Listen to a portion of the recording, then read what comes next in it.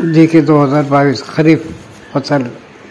ये फ़सल जून तो नवंबर बोई जाती है और नवंबर में काटी जाती है। इस फ़सल में वही अशिया बोई जाती है जो ज़्यादा बारिश चाहती है। मसलन चावल, कपास, तंबाकू, जूट, गन्ना, जवार, बाजरा और उड़द वगैरह।